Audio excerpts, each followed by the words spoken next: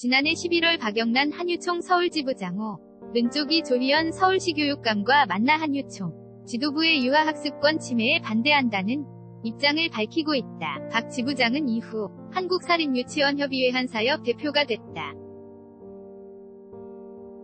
연합뉴스 서울시 교육청이 한국유치원 총연합회 한유총의 설립 허가를 취소하기로 함에 따라 최대 사립유치원 단체인 한유총 이준패 갈림길에 섰다. 이런 가운데 한 국사립유치원협의회 한사협과 유치원 주요단 새로 떠올랐다. 한사협은 지난해 말 한유총 지도부의 대정부 강경 투쟁방 침해 반대한 한유총 서울지부 회원들을 중 심으로 설립됐다. 이들은 정부 유치원 정 책을 적극적으로 수용하기로 했다. 교육부와 교육청은 한유총과는 대화 불가 방침을 고수하면서도 한사협과는 계속 대화하며 대표 단체로 인정했다. 임병아 한사협 대 변인과 인터뷰를 통해 왜 정부 요구를 수 용했는지 사립유치원의 요구는 무엇인지 들어봤다. 한유총과 정부가 결국 급한 적 상황까지 치달았다. 다른 방법은 없어.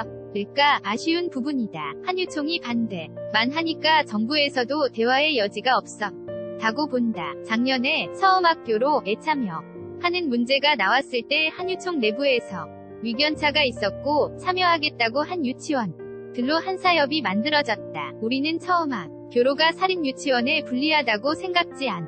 았다. 해보니 나쁠 게 없었다. 앞서 지난해 교육부는 정부가 마련한 온라인 원화 모집 시스템인 서음학교로 애사립 유치원에 참여를 요구했다. 한유총 지도부는 이에 반대했지만 한유총 서울지부를 중 심으로 한 일부 유치원이 도입을 찬성하면 서한사협으로 분리됐다. 서울시교육청이 한유총에 보낸 법인 설립 허가 취소 통지 서한유총에선 국가회계관리 시스템인 에듀파인 도입을 반대하면서 사유재산 권을 인정하고 시설 사용료를 달라고 했다. 한유총이 잘못하는 것이다. 이런 주장은 대부분 일부 대형 유치원에 해당하는 옛 기다 생계형으로 유치원을 하나씩 해오던 원장들에겐 별로 해당하지 않는다. 서, 적 마인드로 접근해서 대형 유치원을 하나 보아니고 여러 개씩 하는 사람들은 많게 은 수십억의 빚을 내서 투자하기도 했다. 지금까진 유치원 수익으로 이자를 냈겠지. 만 에듀파인을 도입하면 이자를 낼 회계항. 목조차 없어진다. 그러니 시설 사용료까지 달라는 것이다. 투자한 만큼 이익을 보장받아야 한다는 얘기도 있는데 유치원은 비영리기관이다. 법인뿐 아니라 쌓인 도 마찬가지로 수익 창출을 하려고 하면 안 된다. 대형 유치원 사업으로 접근한 사람 중에는 설립자이지만 원장이나 총무 업무조차 안 하는 경우도 있다. 이런 사 남들은 수익을 가져가면 안 된다. 아포스트로피 서면초가 한유총 서울 는 연합뉴스 이지은 기자 는 서울시 교육청이 4일 개학연기 투쟁을 주도한 한국유치원 총연합회 한유총 설립 허가를 취소하기로 결정했다. 5.15 전 서울 용산구 한유총 사무실에서 관계자 가 나오고 있다. 2019년 3월 5일지 UNLE 꼴뱅이 YNA.co.kr 끝 저작권 다시 연합뉴스 무단 전제 재배포 금지 임 대변인은 신도시의 아파트가 대거 들어서면서 생긴 기업적인 대형 유치원들이 문제이지 중소형 유치원들은 에듀파인에 크게 반대할 이유가 없다 고 말했다. 그는 대형 유치원 대부분은 한유총 소속 이라고 주장했다. 개학 연기 등 사 리뷰치원 강경 투쟁은 어떻게 생각하나? 다른 단체라 말하기 조심스럽지만 선택에 여지 없는 부모들에겐 피해가 컸을 것이다. 어떤 문제든 아이를 볼모로 정부와 협 상을 한다는 생각은 이해할 수 없다. 유 치원은 학부모의 갑이 아니다. 에듀카 인을 전격 수용했다. 사립유치원 입장에서 는 쉽지 않은 결정인데 왜 수용했나?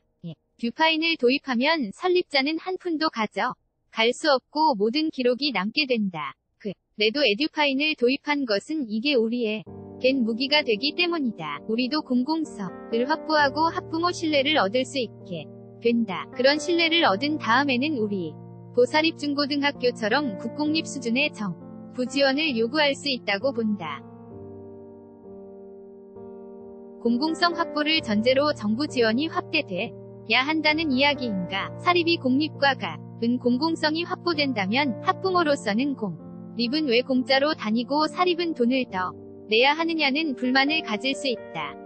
런 요구가 커진다면 정부로서도 지원을 확 대해야 할 것이다. 중고교는 사립도 정, 부 지원을 받지 않는가, 또 유치원 차량, 이나 놀이시설 등을 보수하기 위한 공적, 적립금은 필요하다. 시설 사용료처럼 원장이 생기는 게 아니라 유치원의 공적 자금으로 부자는 취지다. 조희연 서울시 교육감이 지난달 26일 한사협 집행부와 면담하고 있다. 이날 한사협은 에듀파인을 수용하게 다는 의사를 밝혔다. 뉴스원 정부는 사립유치원 폐원을 어렵게 만드는 등 강력 대응하고 있다. 일부 유치원이 협박, 성폐원을 하려는 것에 대한 조치라고 이해 한다. 그런데 소형 유치원 중에서는 학 생 수 감소로 정말 어려운 곳이 많다.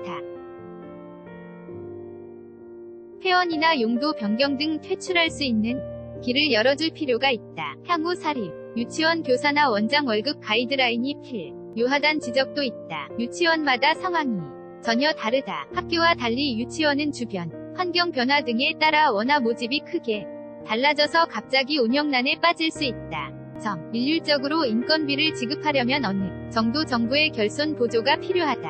향후 이 문제에 대해 정부와 더 논의해봐야 한다. 남윤서 기자남, 유언스 251 골뱅이 JONGANG.co.